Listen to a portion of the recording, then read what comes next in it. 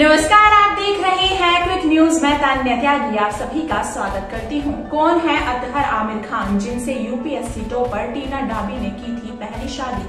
अब क्या कर रहे हैं? तो आइए जानते हैं। साल 2015 की यूपीएससी टॉपर रही आईएएस टीना डाबी एक बार फिर चर्चा में है। कभी अपनी पहली शादी को लेकर चर्चा में रही और जस्थान पुरातत्व विभाग के डायरेक्टर प्रदीप गांडेवा के साथ घर बसाने जा रही लेकिन क्या आपको उनके पहले पति आईएएस अतहर आमिर खान याद हैं? वो आजकल क्या कर रहे हैं और कहाँ हैं? तो आइए जानते हैं। जम्मू कश्मीर के ही रहने वाले अतहर आमिर खान इस समय श्रीनगर म्यूनिसिपल कॉरपोरेशन के कमिश्नर और श्रीनगर स्मार्ट सिटी लिमिटेड के सीईओ हैं।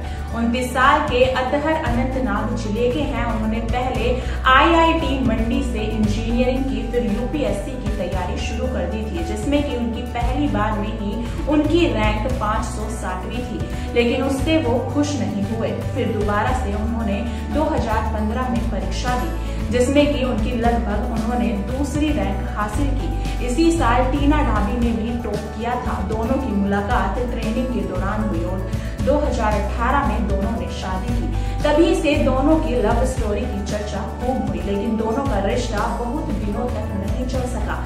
2020 में दोनों ने कोर्ट में तलाक की अर्जी दाखिल की और अगस्त 2021 में तलाक की मंजूरी मिल गई। तो वहीं अतहर अपने काम के लिए भी जाने जाते हैं। उन्हें काफ़ी पुरस्कार भी मिल चुके हैं।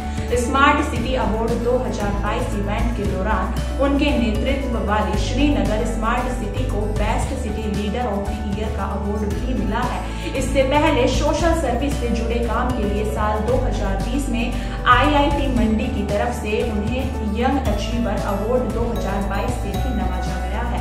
धन्यवाद। देश दुनिया की बाकी अन्य खबरों के लिए देखते रहिए